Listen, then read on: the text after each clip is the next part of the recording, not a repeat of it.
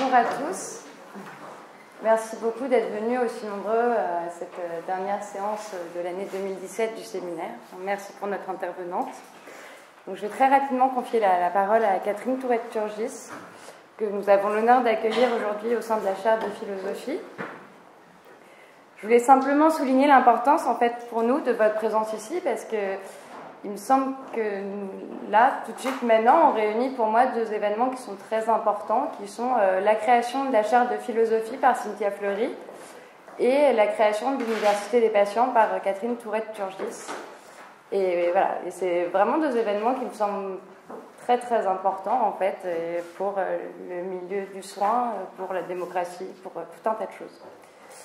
Et pour moi, cette création témoigne de tout votre engagement dans la vie de la cité, de votre lutte contre les disqualifications et les marginalisations des corps vulnérables, de votre volonté d'inventer un geste de soin reconnaissant les compétences, les savoirs et les expertises de chacun, reconnaissant des sujets, tout simplement. Par la création de l'Université des patients, vous pointez la nécessité pour la médecine et les sciences humaines d'une alliance inévitable. En effet, c'est à l'hôpital que se ressent et devient visible le constat d'une humanité non seulement fragile, mais aussi toujours en devenir, toujours capable de réorganisation, capable d'accueillir cette vulnérabilité, capable de construire de nouvelles formes de connaissances, de nouvelles formes de vie, de nouvelles manières d'être. Le soin, comme le soutient Cynthia Fleury, c'est ce que nous fabriquons tous ensemble, et il s'apparente à un bien commun. Euh, pour Anna Arendt, le, projet politique de l'homme tient dans cette perspective de l'édification d'un bien commun, d'un monde commun. Et du coup, euh, dire que l'hôpital ou le soin sont du domaine du commun, c'est dire, alors je vous donne la définition d'Anna Arendt du monde commun, c'est dire que ce qui c'est ce qui nous accueille à notre naissance, de ce que nous laissons derrière nous en mourant. Il transcende notre vie aussi bien dans le passé que dans l'avenir. Il était là avant nous, il survivra au bref séjour que nous y faisons. Il est ce que nous avons en commun, non seulement avec nos contemporains, mais aussi avec ceux qui sont passés et avec ceux qui viendront après nous. Le monde commun, en fait, n'est qu'un potentiel à réaliser. C'est parce que des hommes apparaissent dans le monde en agissant collectivement que le monde commun se construit. C'est à travers la parole et l'action commune que les hommes établissent un espace de publicité, un espace d'apparition, qui du coup va s'étendre entre eux partout où ils se trouvent. Et tout en visant toujours en fait à maintenir la pluralité des points de vue et des perspectives. Et le soin, me, semble-t-il, hein, comme euh, j'aime bien le répéter ici, c'est cet espace qui ouvre à la possibilité de multiplier les points de vue, de faire varier les normes d'existence et peut devenir finalement la possibilité de multiples commencements. Donc préserver ce bien commun implique alors un partage des connaissances et des responsabilités, une reconnaissance des connaissances expérientielles de chacun et de la responsabilité de chacun. Et je finirai simplement avec cette citation de, Jacques Rancière qui dit Il n'y a pas d'ignorant qui ne sache une multitude de choses. Et c'est sur ce savoir, sur cette capacité, que tout enseignement doit se fonder. Instruire, peut donc signifier deux choses exactement opposées. D'un côté, confirmer une incapacité, dans l'acte même de l'instruction qui prétend pourtant la réduire, ou à l'inverse, forcer une capacité qui s'ignore ou se dénie à se reconnaître et à développer toutes les conséquences de cette reconnaissance. Le premier acte, pour lui, s'appelle l'abrutissement, le second, l'émancipation. Et l'égalité pour lui est fondamentale et absente, elle est actuelle et intempestive, toujours remise à l'initiative des individus et des groupes qui, contre le cours ordinaire des choses, dit-il, prennent le risque de la vérifier, d'inventer les formes individuelles ou collectives de sa vérification. C'est-à-dire que pour lui, il faut partir de l'idée que nous sommes tous égaux et qu'à partir de ce constat, il faut aller vérifier cette égalité d'intelligence, il faut aller l'actualiser en allant chercher les capacités de chacun. Et il me semble, moi, avec toute l'humilité de ma posture, hein, que la création de cette première, euh, université des patients, elle participe de ce mouvement de vérification de cette égalité de principe. Un mouvement d'émancipation où elle va chercher, en fait, justement, à créer ce sentiment d'égalité qui me semble nécessaire à la vie démocratique et à l'individuation des patients et des sujets. Ainsi, euh, chère Catherine Tourette-Turgis, vous êtes professeure des universités en sciences de l'éducation à l'université Pierre et Marie Curie. Vous dirigez des enseignements en éducation thérapeutique. Vous êtes membre de l'unité de recherche, apprentissage, expérience, formation du Centre national des arts et métiers, où vous développez vos travaux de recherche sur, je cite, les savoirs d'expérience, les théories de l'action, l'analyse de l'activité des patients et l'intégration possible d'une intention éducative dans la démarche de soins. Vous avez travaillé pendant des années sur l'observance thérapeutique et avez introduit le counseling en France dans le domaine du sida et développé des dispositifs d'accompagnement adaptés aux situations extrêmes et irréversibles. Vous avez rédigé de nombreux ouvrages hein, sur la question, notamment l'éducation thérapeutique du patient, la maladie comme occasion d'apprentissage, paru en 2015. Et en tant que psychosociologue clinicienne, vous avez participé à la formation de patients experts, de soignants, d'éducateurs thérapeutiques et de formateurs. L'ensemble de votre parcours engagé vous a conduit donc à la création de l'Université des patients en 2009, qui offre à des patients experts, notamment issus du, milieu associatif, euh, la possibilité de suivre un cursus de formation diplômante en éducation thérapeutique du patient. Vous travaillez aujourd'hui davantage sur la notion de rétablissement, afin que l'expérience d'une maladie telle que le cancer, vécue comme un bouleversement total dans la vie du sujet et dans, son inscription dans le monde, puisse être accompagnée afin de ne rien perdre de la perte elle-même. Donc nous avons ainsi l'honneur, euh, l'honneur euh, d'ailleurs d'accueillir euh, aujourd'hui Catherine Tourette-Turgis qui d'ailleurs a reçu la Légion d'honneur en printemps, dernier.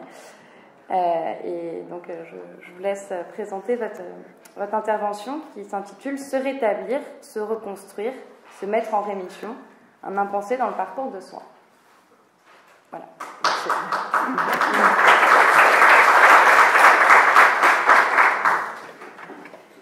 Merci. En fait, je vais me livrer ce soir à un travail de plaidoyer, un travail de plaidoyer moral et politique sur les actions à conduire autour du rétablissement, se mettre en rémission, se reconstruire. Euh, un impensé dans le parcours de soins, donc euh, bah, justement, euh, comment le penser, comment l'intégrer, comment le mettre en place, comment le déployer dans les espaces où cela serait possible? Alors plutôt que de faire la déclaration habituelle de la présence ou de l'absence de mes liens d'intérêt sur le sujet qui nous réunit ce soir, je ferai une déclaration de mes liens d'intérêt théoriques avec la chaire de philosophie à l'hôpital, notamment avec Cynthia Fleury, avec laquelle je partage les concepts de soins comme premier organisateur du lien social, le concept de santé comme bien commun, le concept de démocratie, de sujet irremplaçable, de care, de partage des vulnérabilités. Une rencontre avec Jean-François Pelletier, professeur en santé mentale, mon collègue de l'Université de Montréal, a eu pour résultat que nous avons décidé l'un et l'autre de travailler chacun pendant un an ou deux sur le concept de rétablissement lui en santé mentale, moi en cancérologie. Il y avait dans les deux cas un tropisme vers la rémission et la guérison. Par ailleurs, venant du VIH-Sida, je voulais reprendre l'histoire de l'épidémie que je venais de vivre et voir en quoi on avait fait des recommandations, des propositions, ou au contraire laissé en vrac, en jachère, la question de ce qu'on appelait alors retour à la santé, réindividualisation des trajectoires, le deuil du deuil, le devenir indétectable comme projet, être un survivant, être un survivant à long terme. Je suis donc partie en enquête, à la fois sur le terrain, en m'introduisant dans une consultation en oncologie, en tant que chercheur clinicienne et en assistant avec attention aux consultations de surveillance du lundi à l'hôpital Tenon avec le professeur Joseph Ligorov dans le cancer du sein, en organisant par ailleurs la conduite d'une dizaine d'entretiens auprès de personnes en rémission, guérison, en faisant des cours sur le rétablissement dans le DU d'accompagnement du parcours de soins en cancérologie, que j'ai créé en 2016 à la faculté de médecine Pierre et Marie Curie, en lisant la littérature disponible, plutôt anglo-saxonne, sur la question pendant plus d'une année. Le Lancet Oncology a consacré en janvier dernier, coup de chance pour moi, un dossier au thème des composantes de la rémission, transition, rétablissement dans le cancer, au thème du soin après la fin des traitements, au thème des besoins des personnes en survie au programme existant. Si vous l'avez noté, la communauté internationale anglo-saxonne et la communauté académique désirant publier en anglais n'a qu'un terme possible, le terme de survivorship, et non pas celui de recovery. Le terme de survivorship se traduit en français par la survie, voire plus rarement par survivance. Le terme de recovery est utilisé en santé mentale et il se traduit en français par le terme rétablissement. L'origine de l'usage du terme de survivant dans le cancer remonte à 1986, date à laquelle Mulan, qui a un cancer, qui est par ailleurs aussi médecin, propose qu'on remplace définitivement le terme de victime du cancer par celui de survivant du cancer. On assiste alors à la naissance d'un mouvement, le mouvement des survivants du cancer, avec une large place accordée au plaidoyer. Mulan est à l'origine de la première coalition nationale des personnes survivant au cancer, avec une déclaration des droits des survivants du cancer, rédigé par Nathalie Davis Springham, qui a eu un cancer du sein en 1974. Elle est décédée en l'an 2000. Elle a écrit plusieurs ouvrages qui ont connu de grands succès, avec des titres comme Un nouveau type de survivants, les survivants du cancer, sous-titre Vivre avec grâce, combattre avec génie. Elle a beaucoup milité et a écrit aussi d'autres livres, dont un Cancer, le temps emprunté. Il s'agit, avec l'usage politique du terme de survivant, de modifier les représentations sociales du cancer. Cancer égale mort, cancer égale mort immédiate. Et de créer une terminologie plus bénéfique pour les personnes concernées. Comme cela a été fait dans le VIH-Sida, époque à laquelle les malades disaient quand bien même on va en mourir, on n'a pas besoin d'être enterré par la société avant qu'on meure. On a des besoins de personnes vivantes, désirant vivre et survivre dans des conditions de survivabilité décentes. Et puis, là aussi, dans le VIH-Sida, il y avait la question des droits. Mourir comme victime du sida n'aurait pas pris en compte les proches.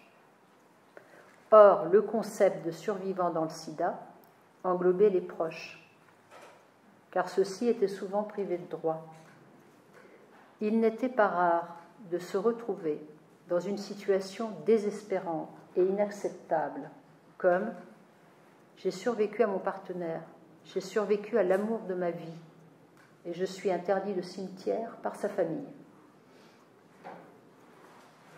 Je veux bien reprendre ma vie en main, mais quand même, à trois mois près, mon ami aurait été là, près de moi, aujourd'hui. Et ça, j'ai du mal à pouvoir en faire quelque chose. Alors, quand je vois la trithérapie, je pense à lui, à tel point que je ne sais même pas ou ranger ma boîte d'antirétroviraux dans l'appartement. C'est trop dur. Je n'arrive pas à prendre ce traitement, même si je fais partie des gens qui se sont battus pour l'avenir. Oui, bien sûr, on va guérir petit à petit, mais les traitements vont éradiquer le virus, mais pas nous guérir des chagrins. Ce qu'on a vécu quand même, il faudra en parler. Rien n'a été prévu pour notre retour à la santé. Rien n'est prêt. Qu'est-ce qu'on va faire? Se remettre à travailler, penser à la retraite? Donc, si on ne resitue pas le débat historiquement, on ne s'en sort pas. Les premiers soins de compassion accordés aux survivants de la Shoah ont pris du temps, car personne ne voulait entendre parler des survivants. Personne ne les aidait à faire le deuil de leurs proches. Dans le sida, le fait même qu'on ait mis en place des groupes de deuil pour les proches a mis en évidence qu'on assumait collectivement la problématique de la survivance. Les séronégatifs étaient intégrés et intégrateurs, avec les t-shirts qu'on portait sur lesquels il était écrit il ne suffit pas d'être infecté pour être affecté. Si on en revient à la première coalition nationale des personnes survivantes au cancer, ils vont donner une définition de la survie. Un individu est considéré comme un survivant du cancer à partir de son diagnostic et tout au long de sa vie les membres de la famille, citation, les amis, les proches, les aidants sont aussi impactés et donc inclus dans cette définition. En 2005, l'Institut américain de médecine publie un rapport sur les soins de survie et sur la transition. Et là, on commence à trouver des éléments qui ressemblent au rétablissement recovery. Ces soins doivent comprendre les éléments suivants. La prévention de la récidive et des effets tardifs des traitements. La surveillance pour prévenir les seconds cancers. L'évaluation de l'impact psychosocial. Les types d'interventions pour réduire et traiter les conséquences du cancer et de ses traitements. Problèmes médicaux, détresse psychologique, problèmes financiers, problèmes professionnels. Et enfin, la coordination des soins pour assurer les besoins de santé des survivants du cancer. En 2011, la fondation Livestrong organise une rencontre de 120 experts pour identifier les éléments essentiels des soins de survie et on voit apparaître des centres d'excellence et une variété de programmes pilotes concernant le soin après les traitements intensifs, appelé en français l'après-cancer.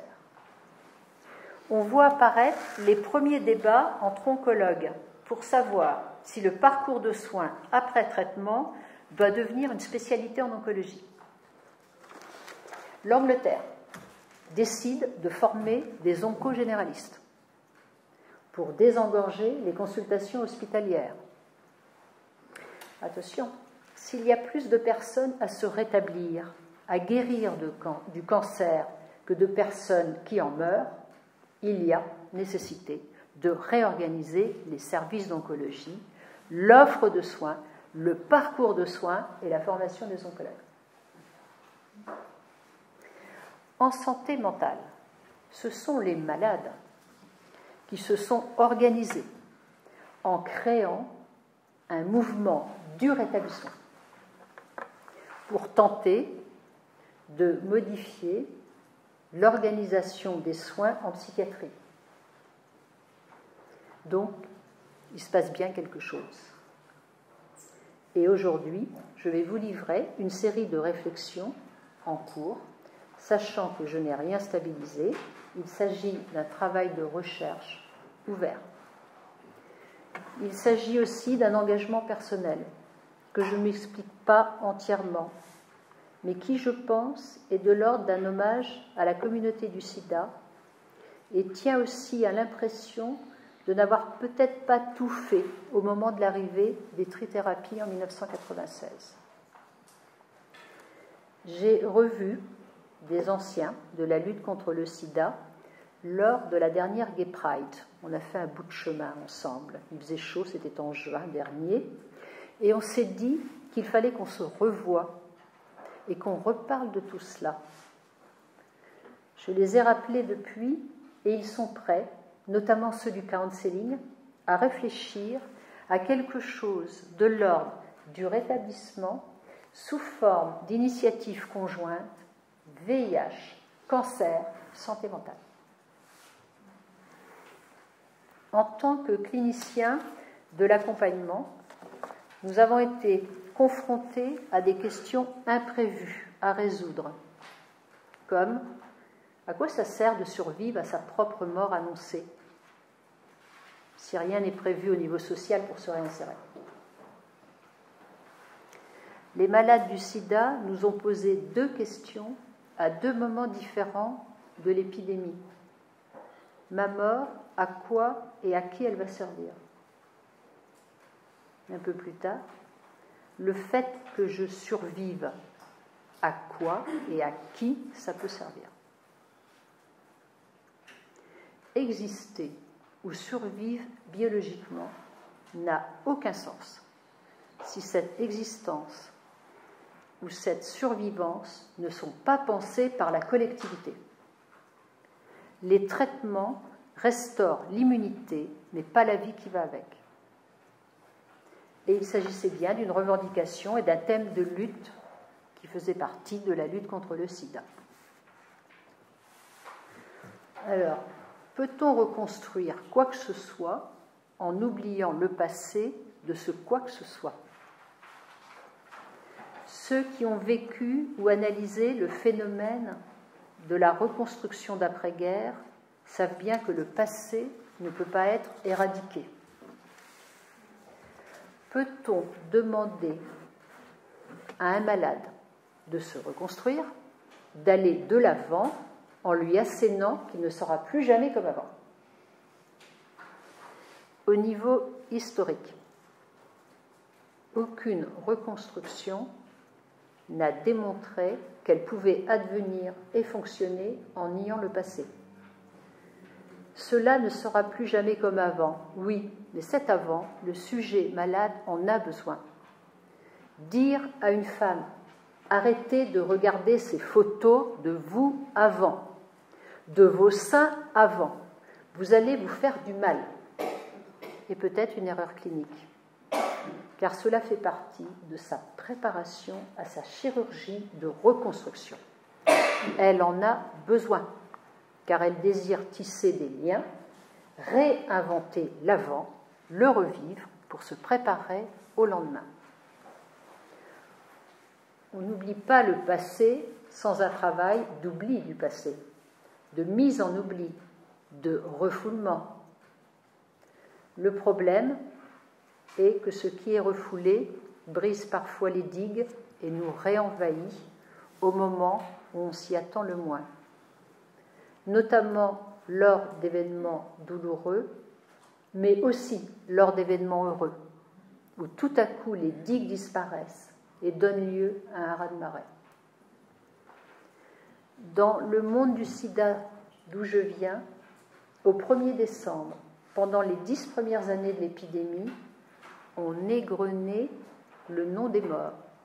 On pleurait, place de la Concorde, à Paris ou ailleurs, c'est-à-dire que les survivants commémoraient le passé.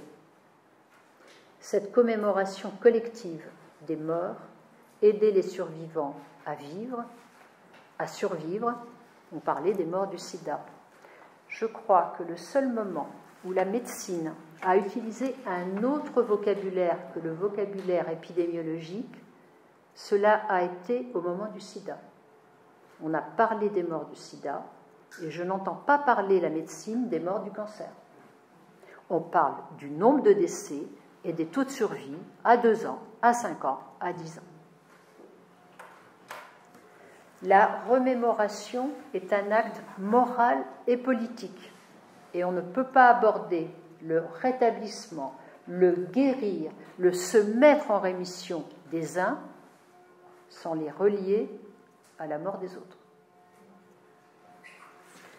On ne peut pas parler des meilleures façons de survie, des bonnes pratiques en matière de survie, sans se préoccuper des modes d'accompagnement des personnes en phase terminale, sans évoquer le toujours nécessaire accompagnement des personnes en fin de vie, sans évoquer l'existence des groupes de deuil, car au niveau sociétal, on ne peut pas déclencher un mouvement du rétablissement, un travail collectif sur la rémission, si on ne parle pas de quoi on se remet, à quoi on échappe et à quoi on survit.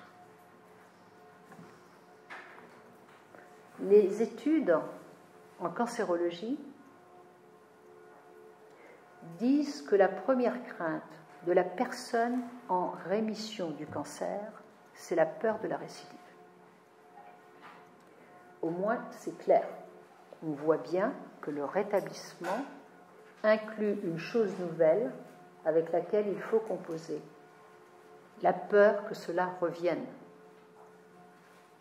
Et cela dit bien que retour à la santé, guérison, rémission sont des attitudes philosophiques que le sujet doit assumer face à la vie et à sa mortalité. La peur de la rechute signifie aussi qu'il y a eu un vécu expérientiel de chute. Dans le parcours de soins, et les consultations de surveillance. Les soignants ne reçoivent pas de formation pour ouvrir un espace d'écoute sur cette peur de la rechute, qui est pourtant une variable reconnue comme ayant un impact sur la réduction de la qualité de vie. Dans la prévention du sida, nous avions découvert que lorsque la peur de se contaminer était trop forte, trop intrusive, des personnes finissaient par abandonner toute pratique de prévention et se contaminer. C'est en effet difficile de prendre soin de soi quand on a peur que cela revienne.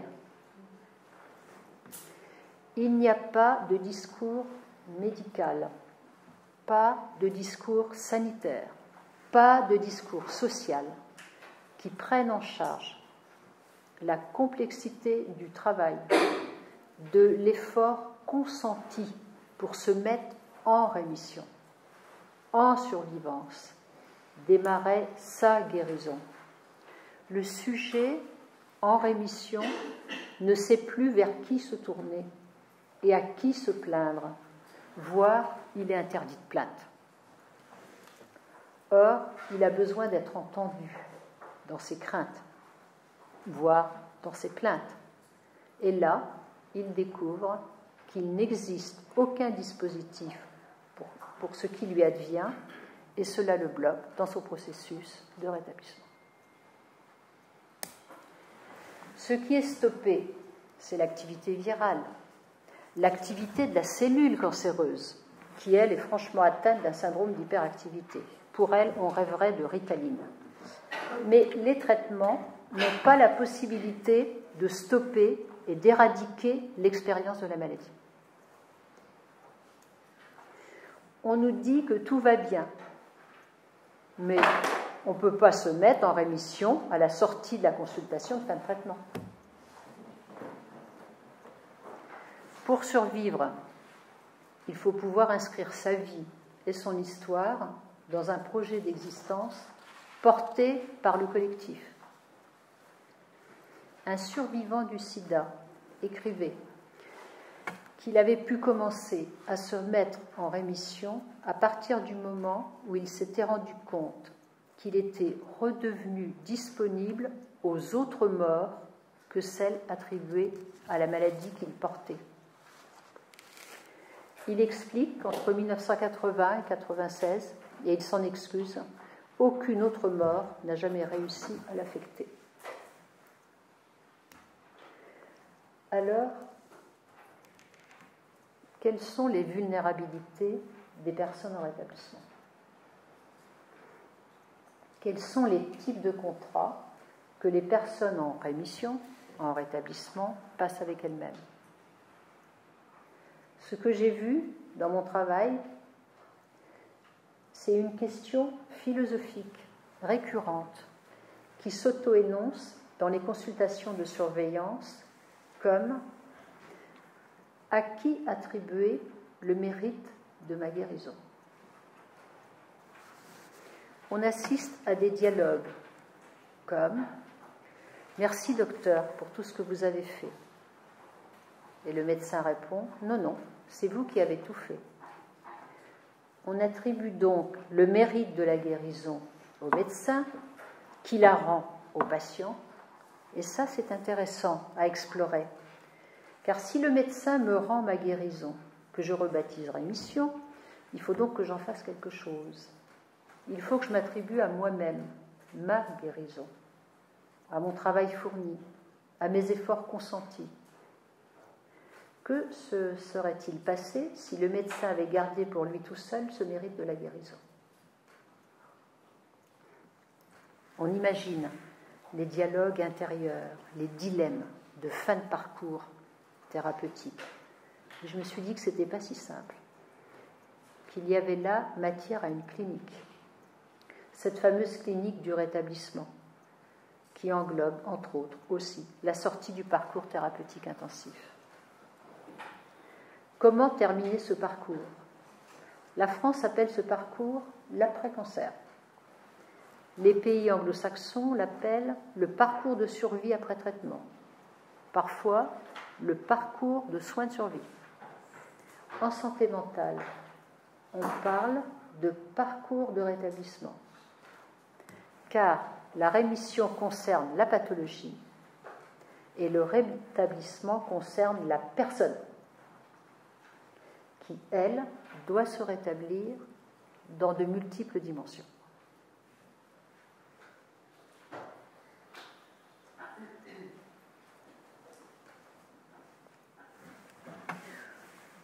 En psychiatrie, ce sont les usagers qui sont à l'origine du mouvement du rétablissement. Terme qui est venu remplacer celui de stabilisation et de réhabilitation détesté par les usagers de santé mentale. On réhabilite un immeuble, pas un être humain. Il vaut mieux être un être rétabli qu'un être réhabilité il est intéressant de noter ces bagarres de termes, de notions, que le terme même de guérison est une notion qui a été longtemps absente des manuels de psychiatrie.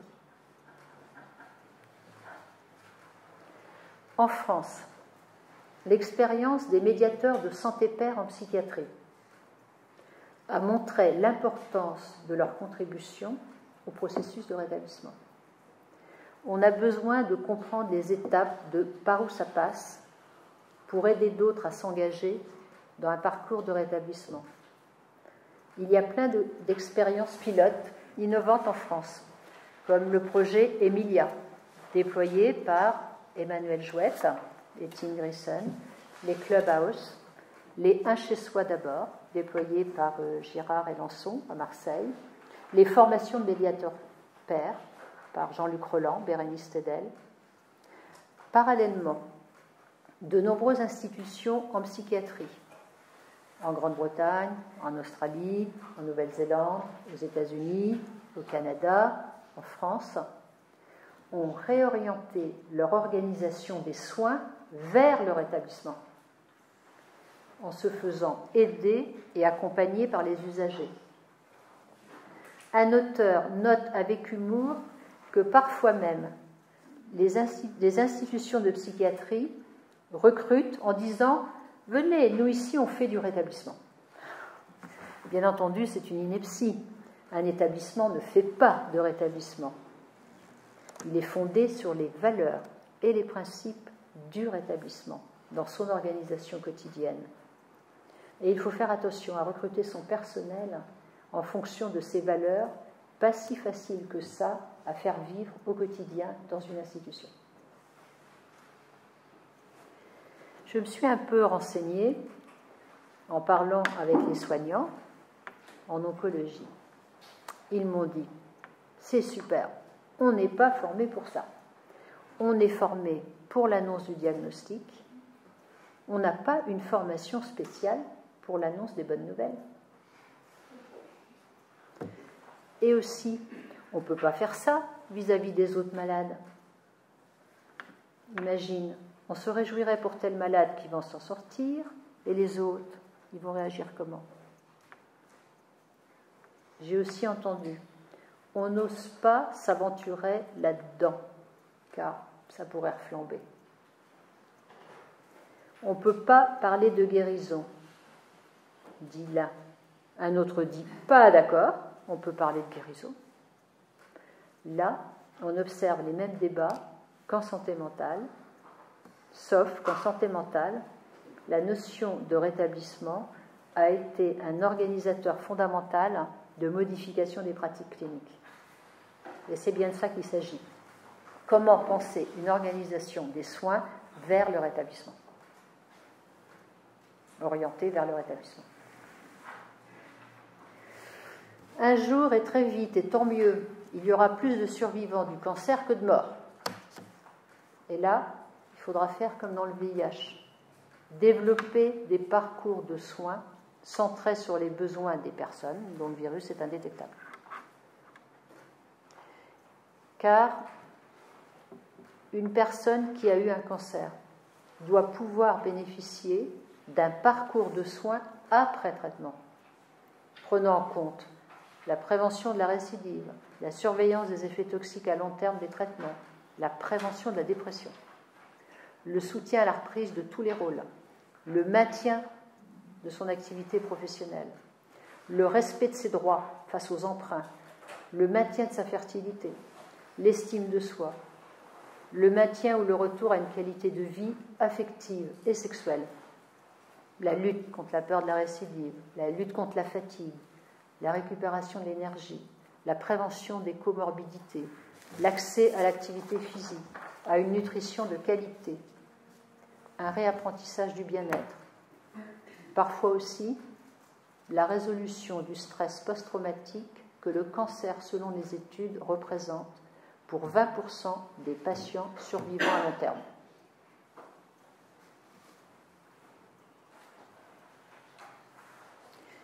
On peut aussi imaginer qu'un patient dise Je ne veux pas savoir que je suis guéri, car je ne suis pas prêt à l'entendre. Je ne suis pas prêt à me mettre en rémission. Donnez-moi du temps. En quoi la promesse thérapeutique lors de l'annonce de la rémission diffère-t-elle de la promesse thérapeutique lors de l'annonce du diagnostic? L'annonce du diagnostic est toujours accompagnée de l'espoir et d'une promesse thérapeutique. C'est vous avez ceci ou cela, et il y a tel ou tel traitement. Et quand il n'y a pas de traitement, on a souvent des solutions du type maintenant on peut réduire tel ou tel symptôme. En quoi la rémission remet en question la capacité du médecin à promettre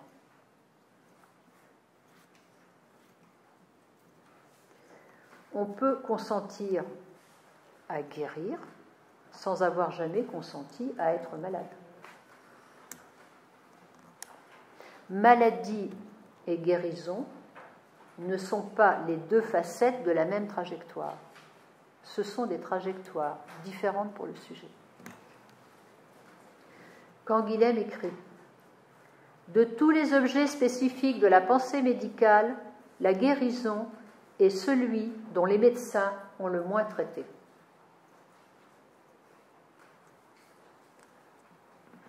Les notions médicales de guérison ou de rémission désigne des modalités évolutives. La notion de rétablissement caractérise le devenir de la personne.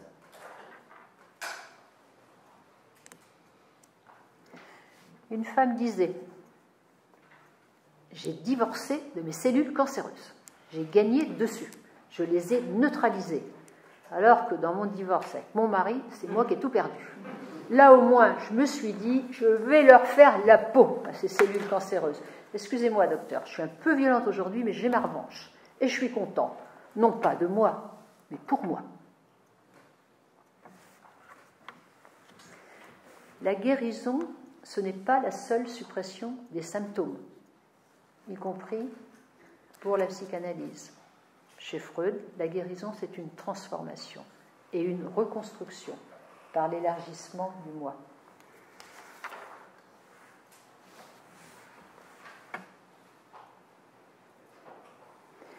On apprend à soigner, on apprend aux patients à se soigner, notamment en éducation thérapeutique, on ne leur apprend pas à se rétablir. Il n'y a pas de programme. Quelles sont les fonctions que la guérison restitue? En quoi et de quoi la mise en rémission est-elle restitutive? Voici quelques vignettes cliniques illustrant la complexité du parcours de rétablissement et les styles de vie qui vont avec, comme on l'avait fait dans le village SIDA. Madame R était graphiste à son compte. Elle a eu deux ans de blanc et de tourments après la fin de ses traitements. Elle est gauchère et elle a du mal à redessiner, car son bras gauche lui fait mal. Elle a eu du mal à rebondir au niveau financier et social. Et le fait qu'elle ait réussi à survivre à son cancer fait que du coup, elle a lâché sur les contraintes ordinaires de la vie. Et elle a fini par dire à un de ses créanciers, Écoutez, j'ai déjà perdu assez de temps dans ma vie. Alors, si je me suis remise de mon cancer, ce n'est pas pour perdre mon temps avec la banque, les huissiers, les avocats et mes impayés. Je viens de payer pour mon cancer, je ne paye pas une deuxième fois. En même temps, elle ne dort pas bien la nuit, car elle a peur. Mais le jour, elle déborde. Il va lui falloir plus de deux ans pour se mettre en rémission. Car, comme elle dit, tout s'est passé trop vite. Tu te retrouves tout d'un coup en dehors de l'hôpital, et là, il n'y a plus de filet. Alors j'ai déréalisé. Maintenant, je vais m'y remettre. Je vais demander, peut-être, une procédure de désentêtement. Dans le sida, avant de mourir, les gens vendaient leur assurance vie, utilisaient le plafond de toutes leurs cartes bleues. Personne ne s'intéresse à ça dans le cancer.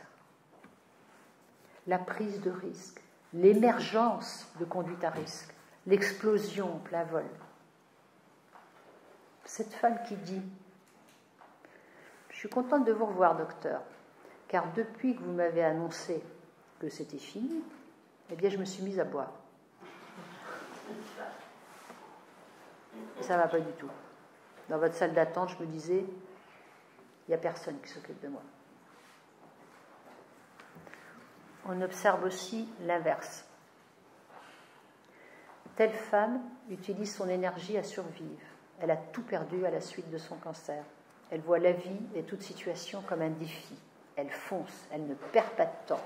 Elle se met systématiquement en position de résolution de problèmes. Elle ne se préoccupe pas des autres, pas le temps, tout est urgent. Du coup, elle ne veut pas s'occuper de son suivi.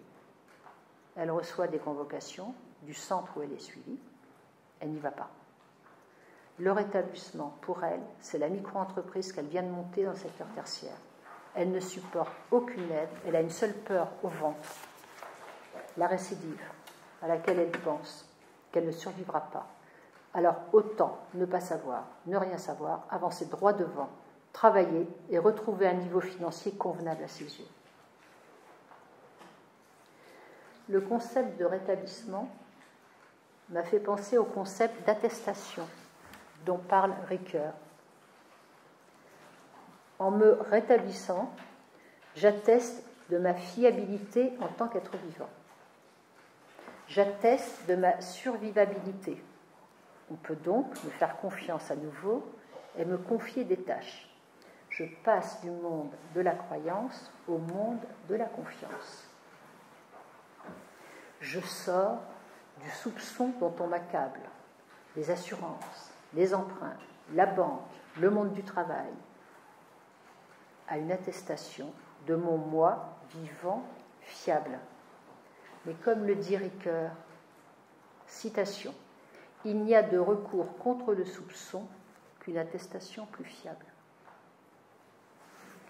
Si personne, dans mon parcours de soins, ne m'a offert cette attestation de fiabilité, alors je risque de devoir moi-même répondre de ma fiabilité. Et là, je retombe dans le monde de la croyance, notamment celle des autres. Je deviens fragile en étant exposé à la croyance des autres. Je n'ai pas alors assez de force pour faire face à des phrases assassines comme Ah, on pensait pas qu'il fallait reprendre si tôt le travail. Ah, dis donc, tes cheveux, ils ont bien repoussé. Tiens, c'est drôle, tu n'aimes plus ce plat-là que tu adorais. Ou encore, dis donc, tu as grossi, mais ça me va bien. Comme le dit cette femme, docteur, aidez-moi. Je ne sais pas comment baffer ma belle-mère, qui arrête pas de dire à mon mari T'es sûr qu'elle est guérie? Tu crois qu'elle sera capable de tenir la maison en Corse cet été? Tu préfères pas qu'on la loue pour qu'elle puisse se reposer dans un hôtel? Telle autre femme? Je ne sais pas quoi penser quand je suis fatiguée, épuisée. Il y a une petite voix qui me dit si c'était le cancer qui revenait? Ce que j'ai observé, c'est que les sujets en rémission et les rétablis ou en cours de rétablissement sont interdits de plainte. Et ce n'est pas acceptable. Tout le monde a besoin de se plaindre. Il faut que les espaces médicaux, les espaces d'écoute puissent entendre la plainte. Sinon, il n'y a plus de médecine ou de clinique de l'écoute digne de ce nom. Comme l'exprime une femme. Au fond, tout pendant que j'étais en traitement, j'étais bien traitée. On faisait attention à moi. Maintenant, on me dit, mais c'est fini ton cancer, arrête de te plaindre. Du coup, quand j'ai peur, quand j'ai mal, quand je suis fatiguée, je n'ose pas me plaindre. Et pourtant, je souffre. En vrai, je ne vais pas bien. Excusez-moi, mais j'ai envie de pleurer. Je suis épuisée, je n'en peux plus. Dans le parcours de rétablissement, il faut qu'il y ait une place, un droit à la plainte à la fin des traitements. La plainte, au sens de signaler, c'est venir déposer quelque chose qui a besoin d'être accueilli pour pouvoir s'atténuer. Accueillir la plainte, c'est donner une chance, laisser une chance à celui qui vient nous la déposer. La plainte, c'est une symbolisation de la demande. Alors arrêtons d'interdire la plainte aux personnes en rémission ou en rétablissement car la plainte fait partie du processus de rétablissement.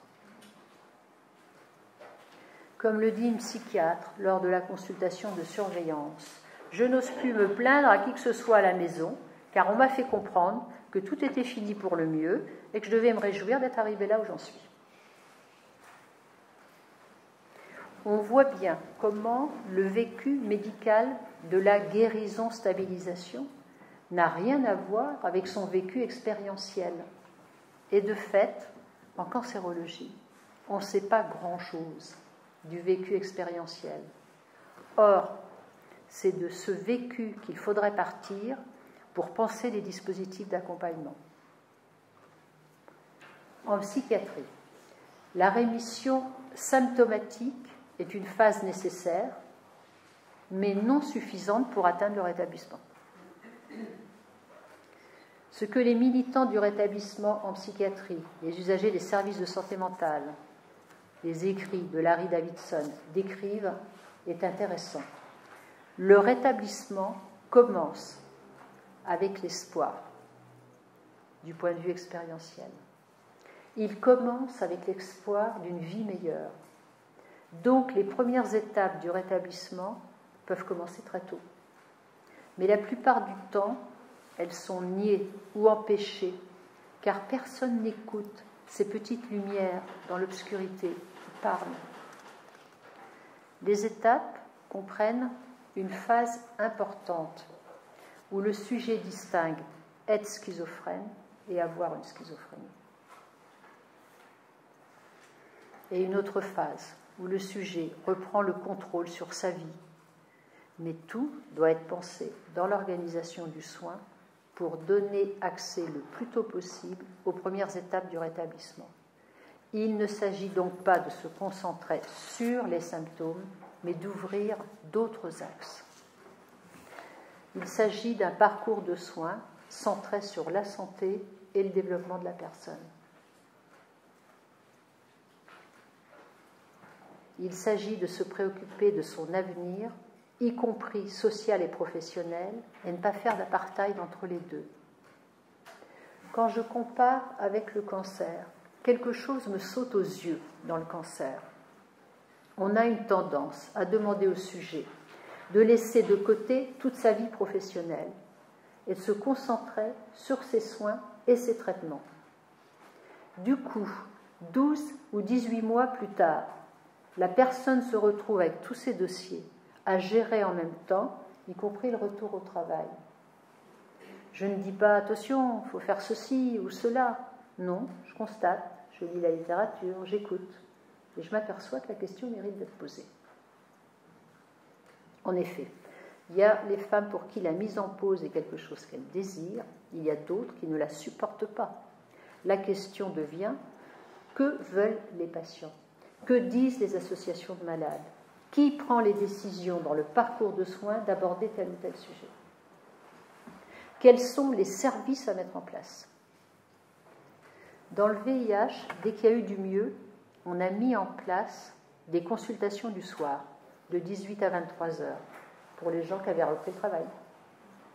Ce qui n'était pas évident dans un hôpital, car il nous fallait au même endroit une infirmière, des médecins, un psychologue, le pharmacien, des associations, tout le monde devant accepter, compris moi-même, puisque j'en faisais partie, de travailler de 18 à 23 heures tous les mercredis, à l'hôpital, donc euh, Pompidou. Est-ce totalement impertinent de reprendre ici la définition du rétablissement en psychiatrie celle que donne Pachou en 2012, parue dans l'information psychiatrique, se donner comme objectif le rétablissement plutôt que la guérison ou la rémission symptomatique implique un déplacement de l'attention qui se détache de la maladie et des facteurs de son évolution pour se porter vers ce qui est le devenir de la personne qui comporte d'autres déterminants.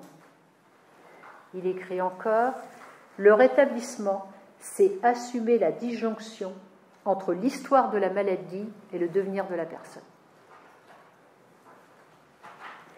Cela suppose deux démarches complémentaires, une visant la rémission symptomatique et l'autre l'optimisation du devenir de la personne et par conséquent son rétablissement.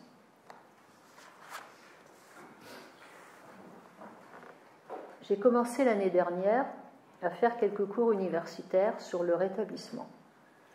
Et des patients, étudiants, en cancéro, sont venus me voir. On a lancé alors une formation au counseling de rétablissement afin de pouvoir ouvrir dans quelques mois en oncologie des cafés du rétablissement, c'est-à-dire des lieux où les personnes qui viennent en consultation de surveillance ou bien avant pourraient venir prendre un café et parler avec des personnes en rétablissement. Il s'agit de créer un espace un peu informel où les langues se délient. Les personnes en rétablissement qui sont en train de terminer leur formation au counseling, qui sont là en plus ce soir avec les Nice, etc., ont déjà identifié, en retravaillant sur leur propre parcours, les thèmes de discussion qui seront abordés dans ce café. En voici quelques-uns en vrac. Les réactions de l'entourage, le retour au travail, la reprise de la vie sexuelle, rencontrer un nouveau ou une nouvelle partenaire. Quand annoncer son ancien cancer Et comment l'annoncer? Comment se présenter dans un nouvel emploi? Dire, ne pas dire? Arriver à gérer ses suivis d'examen? Retrouver la joie, les rires, le bonheur? Remettre du léger et de l'insouciance dans sa vie? Se refaire des amis? Faire de l'activité physique Tiens oui, mais comment? Perdre du poids Bof. Bien dormir Réveiller sa libido Oui, mais comment? Des thèmes que seules des personnes ayant l'expérience du vécu, de la rémission et du rétablissement peuvent imaginer.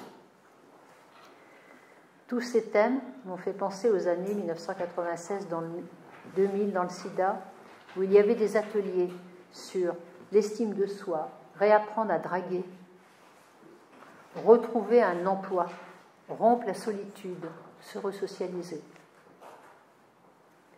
Dans le groupe de formation counseling, on a déjà exploré tous ces thèmes à raison d'une heure trente par semaine depuis le mois de juin dernier. Les personnes en rétablissement ont souvent joué leur propre rôle dans les exercices d'apprentissage du counseling. Et c'est avec plein d'émotions que je les remercie aujourd'hui, car j'ai beaucoup appris sur le parcours quotidien du rétablissement. J'ai appris la gravité, voire la violence qu'on fait à une personne en rétablissement quand on l'empêche de se plaindre. J'ai appris la vulnérabilité du rétablissement. J'ai appris comment des pratiques institutionnelles dans le soin peuvent empêcher et bloquer les personnes dans leur parcours de rétablissement. J'ai appris qu'il y avait des étapes et une dynamique ouverte. J'ai été confirmée dans l'importance du groupe, l'importance du collectif. J'ai été confirmée dans le fait qu'il y a des points communs entre le rétablissement dans le VIH, la santé mentale, le cancer. Ces points communs sont l'espoir, l'importance d'être reconnu dans le regard de l'autre, le besoin récurrent de confirmation médicale.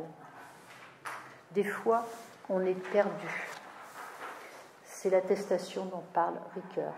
On a besoin que quelqu'un, dans les grands moments de doute, atteste de notre survivabilité présente et future.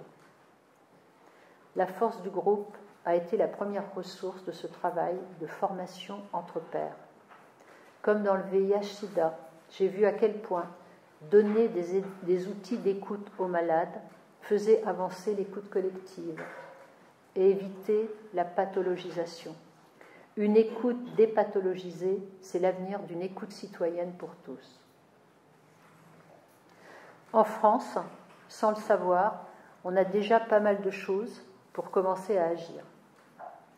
En oncologie, on a un super article de synthèse et un ensemble de recommandations sur la prise en charge des besoins psychiques après cancer, rédigé sous la direction de Sarah Doshi par la Société française de psycho-oncologie à la suite de son 29e congrès de 2012 qui s'est tenu à Caen. La quatrième recommandation demande à ce que soient détectés dès le diagnostic et la prise en charge les besoins psychosociaux des personnes en difficulté sociale et économique, car ces besoins seront exacerbés à la fin des traitements. La huitième recommandation demande que des programmes de soins psychiques adaptés à l'après-cancer soient proposés avec un accès financier possible. La littérature internationale confirme l'existence d'une période problématique de 12 à 18 mois après la fin des traitements. Donc nous, les Français, nous sommes concernés, nous sommes prévenus, nous sommes informés. On ne pourra pas dire que nous ne le savions pas, mais je peux vous assurer que ce n'est pas une fake news les publics concernés par les offres de services après cancer sont les personnes en rémission clinique après les traitements, les personnes pour qui le cancer est devenu chronique, les personnes qui sont guéries. Le bonheur. On a besoin de savoir comment ces personnes vont, quels sont leurs besoins, si elles sont heureuses. on voit apparaître des échelles de mesure du bonheur dans l'après-cancer. Les premiers résultats montrent des analogies avec ce qui sert à mesurer les étapes vers le rétablissement en santé mentale, c'est-à-dire l'espoir, l'estime de soi, avoir quelque chose à quoi on tient dans sa vie et disposer de moyens socio-économiques satisfaisants. La revue Lancet Oncologie 2017, dans ses résultats, les survivants post-traitement à long terme, ceux qu'on devrait nommer les personnes rétablies, on observe, dix ans après le diagnostic initial, chez 15 à 20% d'entre elles, anxiété, dépression, stress post-traumatique, détresse plus élevée que dans la population générale, appauvrissement, problèmes de carrière et d'emploi, peur de la récurrence, symptômes résiduels des traitements, image de soi, prise de poids, problèmes de sommeil, des troubles de la sexualité. Bref, elle conclut, ce n'est pas fini quand c'est fini. Être traité du cancer, voire être déclaré guéri du cancer, ne garantit pas une bonne santé. En conclusion, comment penser une offre en direction des 2,5 millions de personnes ayant survécu au cancer dans notre pays, 15 millions aux États-Unis. Comment penser une clinique du rétablissement? Comment introduire dans le parcours de soins des éléments aidant les personnes à entrer dans leur parcours de rétablissement au moment optimal pour elles, pour éviter les risques de se retrouver déclarées en rémission sans avoir pu s'y préparer et sans disposer des ressources nécessaires. Comment continuer à faire des recherches en distinguant le rétablissement comme concept, le rétablissement comme dispositif, le rétablissement comme principe d'orientation dans le service d'un service de soins, le rétablissement comme un mouvement citoyen de maintien des personnes malades dans une santé optimale tout au long de leur vie. Comment poursuivre le combat pour réduire la faillite sociale dans laquelle de nombreux malades se retrouvent aujourd'hui, rétablis ou non Je vous remercie.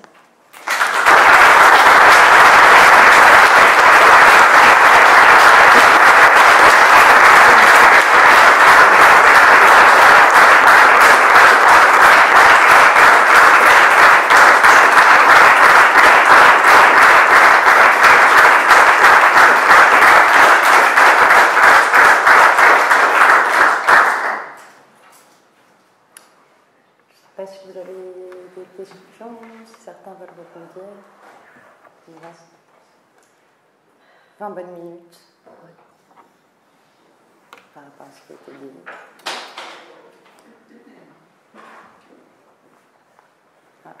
On peut s'en servir pour témoigner aussi, parce qu'on en manque. Il faut continuer à partager.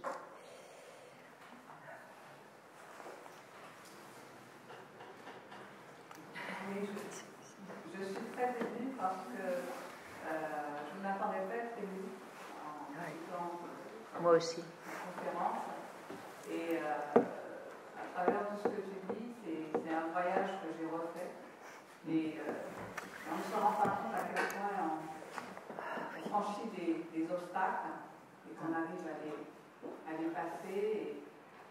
Et, c'est vrai que tout ce que tu dis sur euh, ne pas se plaindre quand, quand, la rémission est, est là, c'est quelque chose dont on ne se rend pas compte à quel point ça peut servir.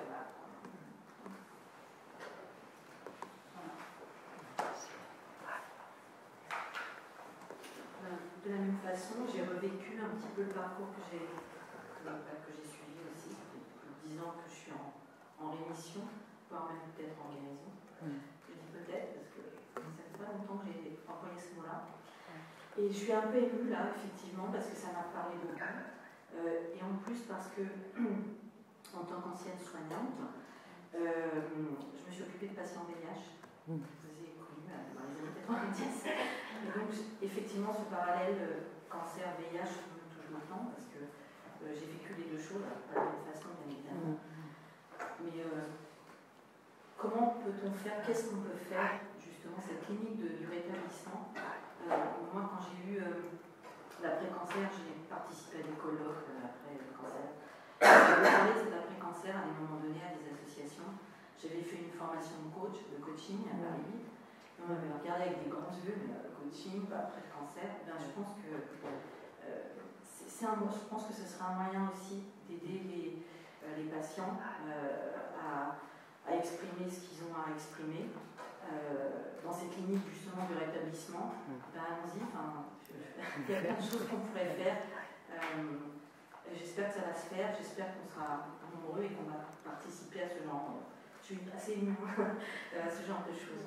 Ben, merci de, merci de, merci de ça.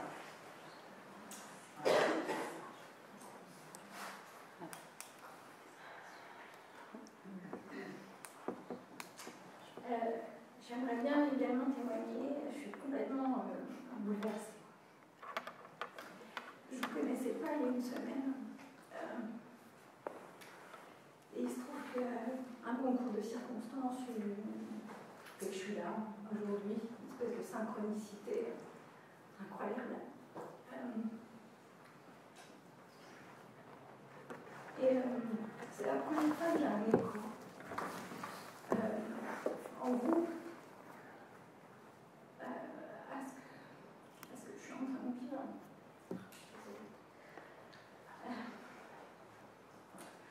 Donc, euh, moi je ne sais pas si je suis en rémission, mais euh, il se trouve que j'ai plus de traitement. J'ai fait euh, deux ans et demi pour une tumeur cérébrale qui est toujours là, qui n'a pas pu être opérée. Mon professeur, voilà, il ne s'autorise pas à dire ni guérison ni rémission, mais le fait est que je suis là. Et, moi je bricole. je bricole mon retour à la, à la vie euh, quotidienne de tous les jours. Euh, mais j'essaie de bricoler avec des, choses qui ont beaucoup de sens. Euh, ce, que je, voilà, ce que je faisais sans doute pas avant, d'apporter autant de soins au sens de, la vie et des actions, des projets. Et bah je vais partir début janvier, pendant deux mois, en Inde. Je suis allée vivre une expérience dans un hôpital ayurvédique où là-bas, on ne soigne pas des maladies, on ne va pas me soigner la tumeur, on va essayer de me soigner en tant que personne. Alors, euh, ça parle à certains, à d'autres pas du tout. En tout cas, moi, c'est ce que, c'est comme ça que j'ai envie de mettre ma, ma marque sur la fin de, des traitements et, euh, et d'essayer de. Voilà, je ne sais pas ce qui va. Je suis jamais en Inde, je, je pars tout seul. Euh, j'ai complètement euh, construit ce voyage tout seul. mon professeur est, au courant et on verra bien ce qui va en sortir après. Mm. mais voilà, c'est, ça, m'émeut beaucoup de savoir que il y a une parole qui existe, enfin, qui démarre. Ouais, c'est ça. Voilà. Il y, a un, il y, a un, ouvrage qui a été écrit par euh, Céline Lefebvre, qui est philosophe et Jean-Christophe qui s'appelle, euh, qui est sorti en 2016, qui s'appelle Vivre après un cancer, favoriser le soin de soi. Et, euh, et ils ont, ils ont interrogé, enfin ils ont, ils ont rencontré en tout cas euh, un certain nombre de femmes deux ans après leur cancer du sein, on veut les suivre. Et, euh, voilà, ce processus est très bien décrit.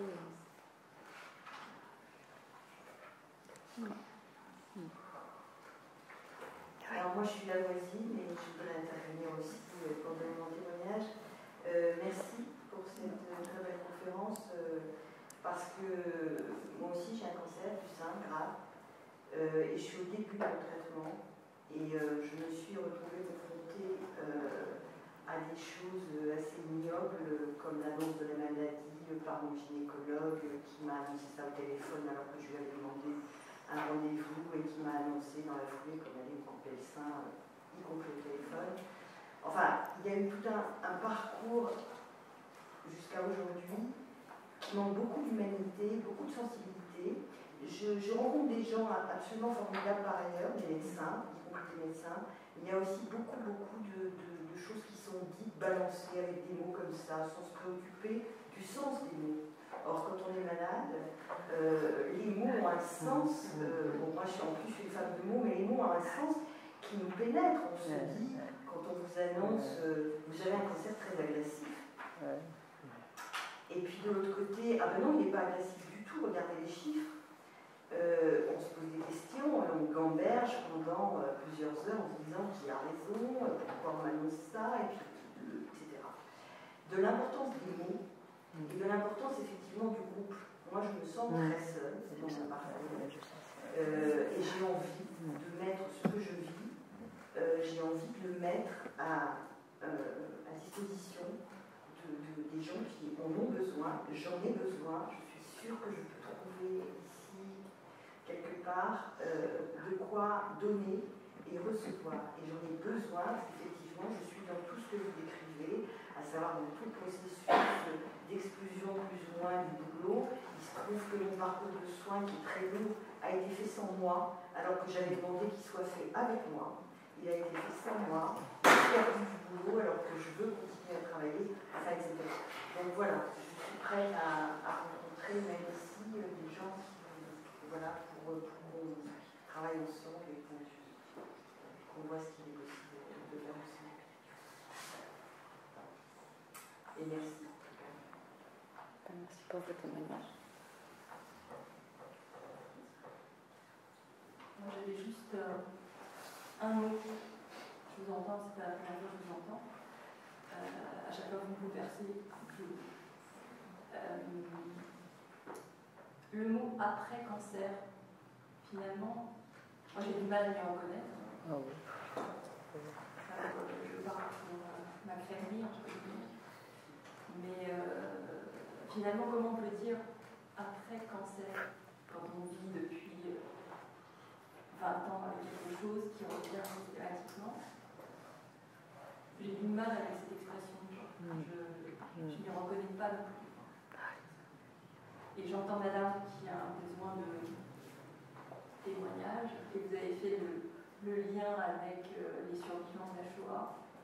Et euh, bah, il y a des gens qui étaient des, des espèces de cueilleurs de témoignages Mhm. C'est vrai que ça manque presque cette bande de données finalement de témoignages mhm. de gens qui euh, bah, vivent plein d'expériences, vont mhm. se retrouver dans certaines expériences, ne se retrouveront pas dans d'autres. Absolument. Et ça serait pas, un tout à fait. Ça me parle beaucoup parce que moi je travaille sur euh, les médecins qui ont, eu qui ont vécu un moment une maladie grave dans leur donc, en fait, je me suis par hasard retrouvée. Euh, en fait, l'idée c'était que c'était une maladie qui, faisait basculement un instant T euh, pendant leur pratique médicale. Et, euh, et du coup, j'ai rencontré ces médecins, souvent quand même jusqu'à presque 10 ans, en fait, après l'annonce en fait, de leur maladie, en leur demandant ce qui s'était passé pour eux depuis l'annonce de, leur maladie. Et, euh, c'est vrai qu'à chaque fois, je retrouvais ce, temps, moi j'avais le temps de l'espérance, il y avait cette, ce temps d'attente d'un autre, justement. Et, euh, et, en fait, au fur et à mesure, je me suis rendu compte, par exemple, que énormément avaient écrit, ce qui m'avait beaucoup troublé, en fait, mais qu'ils avaient presque tous écrit à un moment pour eux. Enfin, c'est une manière comme ça, euh, à la fois de poser les choses, de se mettre à distance, en même temps de s'inscrire dans le monde. Enfin, il y avait ça, toute une Et, euh, et puis moi, j'ai eu cette impression aussi qu'il y avait aussi beaucoup cette nécessité de donner et que je trouve que le soin, forcément, enfin, la pratique après soignante qui reprenait, permettait en fait de retrouver en fait euh, enfin, offrait en fait cette euh, possibilité de, soins. Enfin, presque moi c'est comme ça que, que je l'ai. Mais, mais surtout, il y en a beaucoup par exemple qui ont mis en place euh, je pense ça parce que des groupes de parole en fait euh, dans des hôpitaux, euh, des, soins de, de, support justement, et qui ont essayé, enfin voilà, qui, ce besoin en fait de, partager et, de, témoigner. Ça, me, parle beaucoup. Et, j'ai surtout cette impression qu'il fallait une écoute, euh, que voilà, c'était important pour eux euh, d'avoir un moment où ils pouvaient raconter leur histoire et en même temps, il y avait aussi ce besoin de, de don, en fait, création de quelque chose, d'échange. voilà. Et donc il y avait Hélène et puis Eric. Hélène, Eric, oui. Hélène, je, je, voudrais te remercier, Catherine, pour tes mots. On en a déjà parlé plusieurs fois. Tout ce que tu dis est très juste. Euh, quand on a vécu la maladie, euh, on ressent tout ça comme euh, une sorte de cicatrisation. Donc vraiment, merci. Le témoignage que je peux vous donner, c'est que plus nous serons nombreux à nous exprimer, à dire, à oser partager, même si nous en pleurons, même si nous avons de la colère à l'intérieur, ou juste euh, du je ne sais pas ce qui m'arrive, je, pense que tout cela va énormément passer par le fait de briser le silence. Mm. On sait tous que c'est quelque chose qui permet de, briser la solitude. Moi, j'en ai vraiment fait euh, l'expérience que ce n'est qu'en partageant et en mesurant que d'autres vivent la même chose que vous, que tout d'un coup, on sort de l'état de victime ou de culpabilité à cette sensation qu'on vit juste une expérience et qu'on peut du coup euh, la transformer. C'est vraiment une étape super importante. Donc, je, te remercie euh, de, partager tout ça et d'ouvrir un espace de parole. Et cet espace de parole, je pense que nous sommes tous euh, dans la capacité de l'ouvrir dans tous les lieux de vie, euh, que ce soit l'hôpital, la famille, le travail. Donc, vraiment merci. Et je voudrais rajouter quelque chose qui me plaît aussi profondément, et là c'est un témoignage personnel aussi, dans cette euh, vision que dans le survivant on inclut aussi les proches. Je voudrais vraiment qu'on inclue les proches parce que c'est vraiment quelque chose qui est fondamental, qu'on ne peut pas se guérir seul. Moi, quand j'ai eu mon cancer du sein, mon fils avait 15 ans.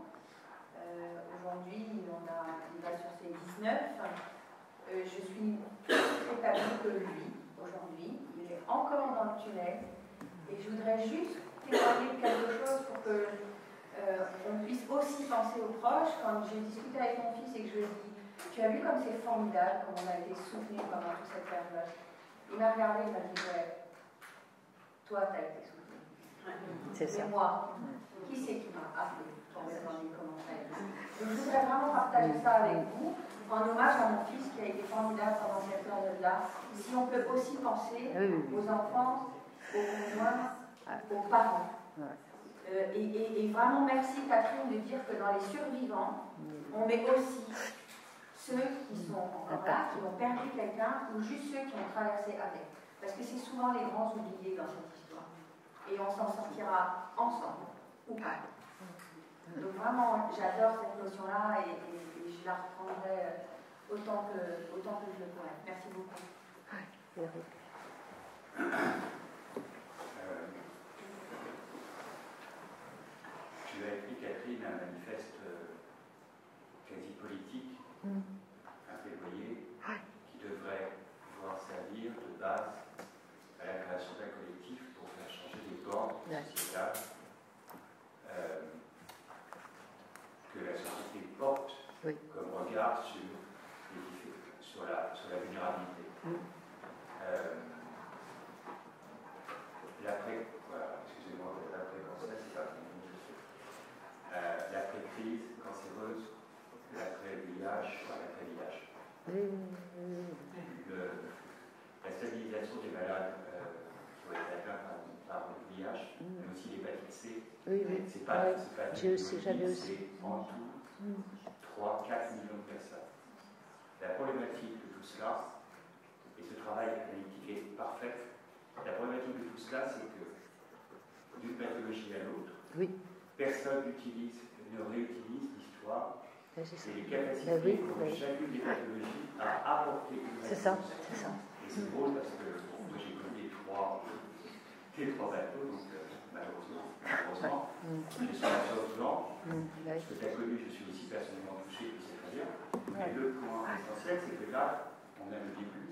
Vous avez, tu as écrit le début d'un manifeste positionnant un plaidoyer pour reformuler un certain, un certain nombre de points, parce qu'à 3 millions, 3,4 3 millions de personnes oui, oui, c'est pas dans rien. cette situation-là, Mmh, mmh, c'est inacceptable. excusez-moi de la fidélité du propos, c'est des points de croissance en moins dans notre économie, Oui, ce qui veut dire une insurabilité, une non-connectivité euh, ébranlée. Donc, ce sont des ressources nécessaires à notre pays.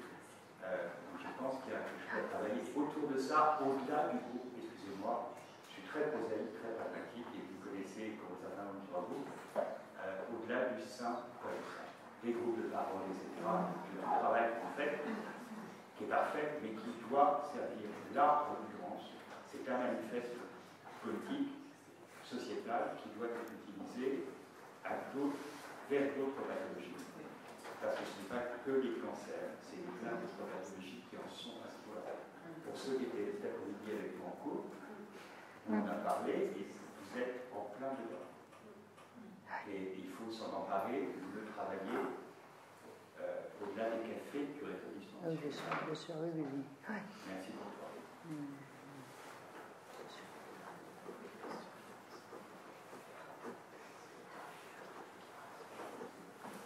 Moi, je voudrais juste rebondir sur votre intervention parce que moi, j'interviens dans le. Je travaille dans l'accompagnement à l'évolution professionnelle et, et j'accompagne des personnes euh, qui sont éloignées de l'emploi pour des raisons de santé. Ah oui. Et en particulier euh, des personnes qui euh, sont en fin de traitement de cancer. Et euh, monsieur, vous parliez de ressources. Euh, c'est pas toujours facile de leur dire parce qu'elles sont pas toujours prêtes à ce moment-là, mais je suis archi convaincue qu'en plus de cette entre guillemets déperdition, vous parliez de points de Bible, mais les ressources formidables que les personnes mettent en œuvre pour chercher en elles pour, euh, Oui. pour vaincre cette maladie, mais tout. Moi, je suis donc concernée par le retour à l'emploi, le maintien dans l'emploi, mais quelle organisation, euh, enfin, tout en- tout en- pour toutes les organisations rêveraient d'avoir ces, ces- ces ressources-là formidables.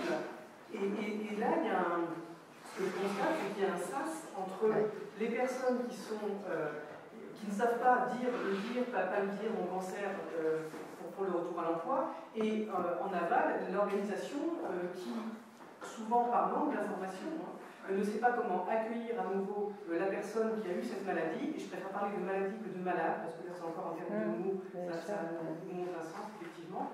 Et, et du coup, il y a encore il y a une rencontre à travailler là-dessus en termes juste de ressources. Voilà. Euh, je crois que là, là, là aussi, euh, les organisations n'ont pas conscience euh, et, et voient les personnes en retour à l'emploi comme souvent un problème, mais il y a une ressource phénoménale, mais énorme, et ça, vraiment, j'ai envie de militer pour, la valoriser, parce que c'est quelle, leçon, enfin voilà, et, si on se base uniquement sur des, dimensions euh, économiques, de performance, etc., là, euh, là, il y a vraiment un matière.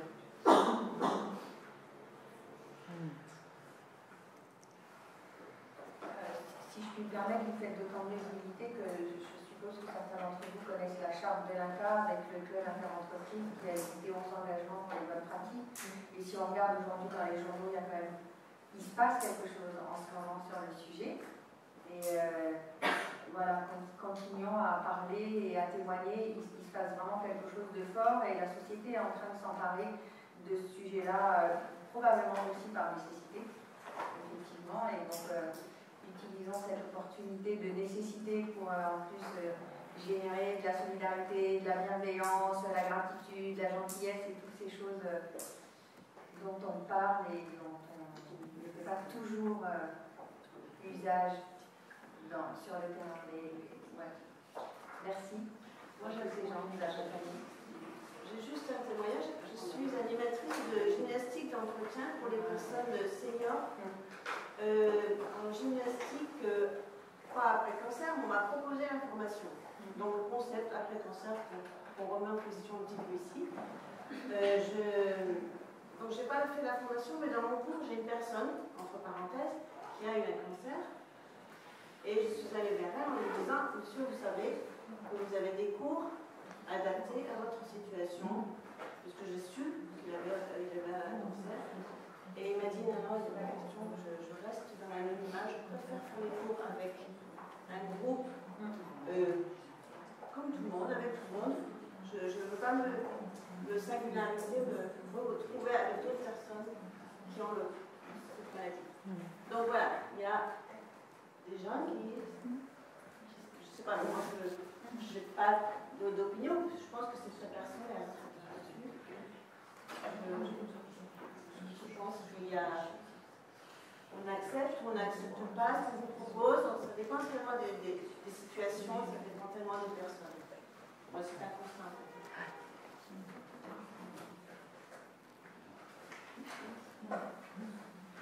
Dominique.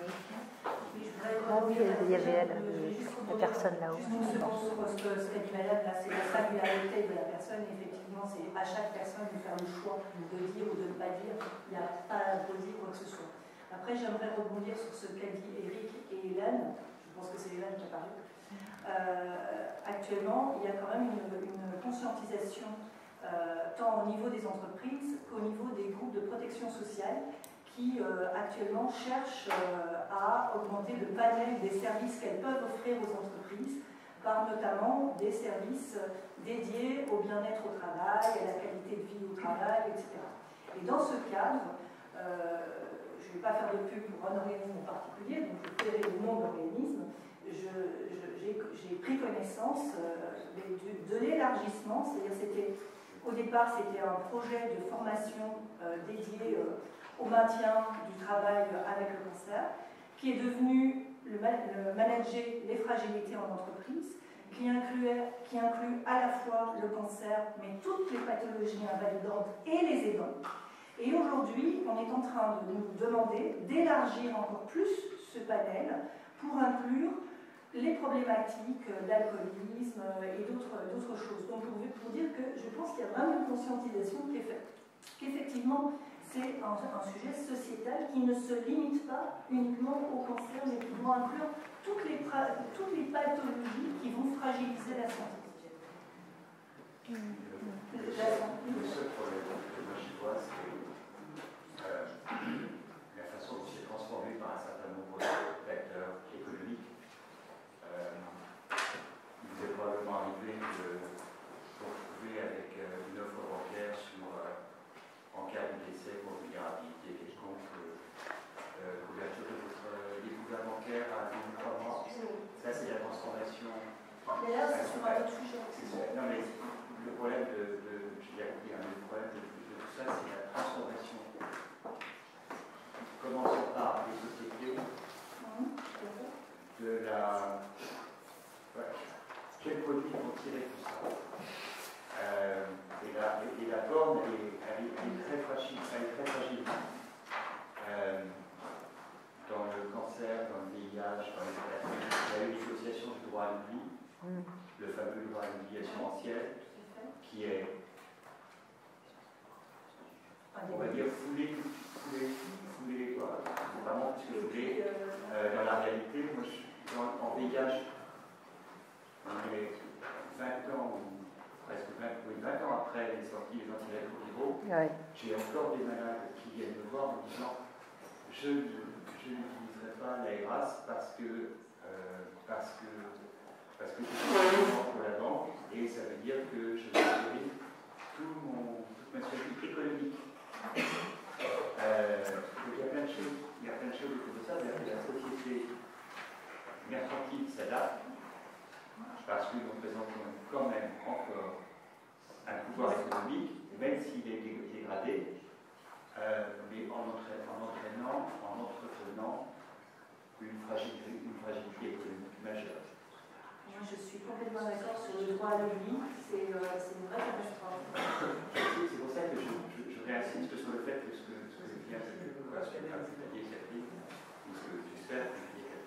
c'est vraiment un, plaidoyer faut s'en parler, la politique collective euh, transversale aux associations et pas simplement euh, utilisée par chaque, parce que le problème c'est que chaque pathologie va défendre ses propres droits. Le droit de l'oubli dans le n'est pas le même que celui en cancer du sein, qui n'est pas le même que en santé mentale. Voilà, c'est le cancer des testicules. Voilà, c'est la. Je veux dire, à un moment donné, euh, euh, il faut qu'il euh, y ait une, base minimum, puisque je travaille pour tous. moi, je suis encore il y a un an, j'ai postulé un emploi dans une grande entreprise. La seule chose qui les intéressait, c'était vous avez de comment les, les, les, les gérer Pardon, c'est pas. Donc là, voilà, donc il y a toute une, approche à voir, et nos sociétés ne sont pas. Euh, il y a encore une dernière question, euh, puis après, il gens Après, il y a des choses qui se font ensemble. Alors, Dominique, il y a, il y a juste une dernière intervention. C'était toi. Euh, merci pour votre intervention. Je suis, je suis de troublée par euh, le fait d'associer l'établissement aux notions de guérison, rémission. Parce que euh, ça me donne l'impression que du coup, ça va exclure énormément de personnes malades. Guérison, déjà, c'est effectivement, on peut guérir la parasite aiguë, pas de souci. Parler de guérison en cancérologie, c'est compliqué et ça nécessite beaucoup, beaucoup de temps avant de pouvoir en être assuré. Et ce qui compte finalement, c'est que les gens vivent normalement, sans une maladie. Il y a beaucoup, beaucoup de patients, y compris en cancérologie, qui ont toujours une maladie négative et pourtant ils n'ont pas de traitement. Ça me trouble beaucoup parce que j'ai l'impression que ça peut discriminer. En santé mentale, euh, la schizophrénie, quelqu'un qui a une schizophrénie aura toute sa vie. Je suis pas sûre. 40 pour, 30% sont en guérison. Oui, en schizophrénie. Dire, on, on, oublie ça, ça aussi. Veut dire, est-ce que c'était une bouffée délirante aiguë Non, non. Non, non, c'était une euh, non. Non, non, non, non, non. La littérature médicale internationale scientifique annonce 30% de guérison en santé mentale, en schizophrénie. Vous parlez de l'établissement que pour une personne que vous allez catégoriser soit en guérison, soit en rémission, ça exclut. Mais moi, je ne vais rien faire du tout si j'ai mis les trois mots. C'est pour faire monter le débat au niveau citoyen politique. Moi, je ne vais rien faire de tout ça. Ce qui est important, c'est le, le manifeste. La maladie en elle-même est une transformation. Il n'y a pas que la guérison Non, mais le problème, là, c'est de dire on a 2,3 millions de personnes survivant au cancer, rien n'est fait pour eux, il n'y a pas d'offre. Il y a 30% en santé mentale euh, rétablie, il n'y a pas d'offre. Il n'y a pas de culture sociétale, il n'y a pas d'espace dédié à ces questions-là. Non, on les... ensemble on les met. Mais c'est déjà de dire que ces personnes ont des besoins spécifiques. En fait, l'idée, dans la littérature internationale, c'est de dire specific needs, c'est-à-dire que voilà, il y a 15 millions de survivants du cancer aux États-Unis, quels sont leurs besoins spécifiques? Donc de faire ce premier travail, d'aller à la source, de voir comment ces personnes ont des besoins spécifiques. Et ça, ça n'avait pas encore été fait. C'est pas des catégories. Je pense que l'établissement, c'est pas une... C'est comme les soins de confort, les soins d'accompagnement, c'est à partir du diagnostic, quelle que soit l'issue, parce que bien sûr, oui, on peut. Du coup, voilà, ça me troublait le fait d'associer systématiquement l'établissement. Je pense que ça doit commencer dès. Oui, oui, oui. C'est ce que j'ai dit. C'est ce que j'ai dit. En reprenant deux définitions. Ça ne peut être que troublant de toute façon. Ça ne peut être que troublant. Je suis d'accord. L'idée, c'est de amener le sujet. Déjà, c'est déjà troublant parce que c'est déjà faire quelque chose qui n'est pas fait. Merci beaucoup à tous d'être venus. Merci à Catherine Tourette-Turgis pour cette intervention. Bonne, euh, bonne fin d'année.